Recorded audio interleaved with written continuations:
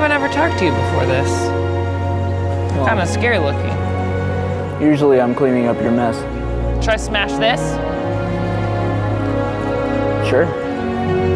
Dare me? Yes.